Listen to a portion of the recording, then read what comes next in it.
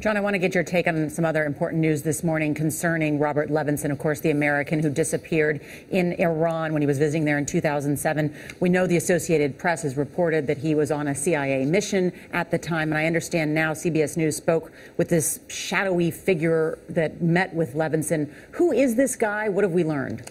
So David Salahuddin is an individual who's wanted for murder in the United States. It's a murder that occurred in 1980. It was uh, an assassination in Maryland of a former Iranian official. He fled to Iran and has been living there out of reach of the United States for years. That was the person that Levinson was going to meet on Kish Island.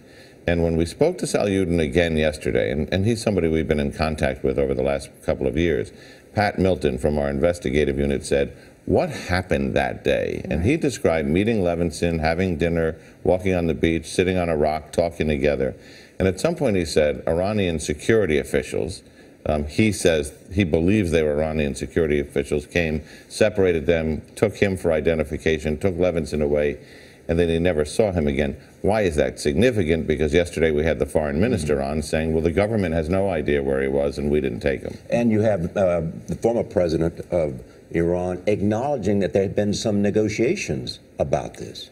He told you in an interview uh, that you both did together uh, last year that um, he thought that this deal had all been worked out between our intelligence agencies. So that's an indicator. I have been told by people, both Iranian sources and U.S. sources, that at different times there have been negotiations behind the scenes to arrange a trade for Levinson, and for different reasons they fell through.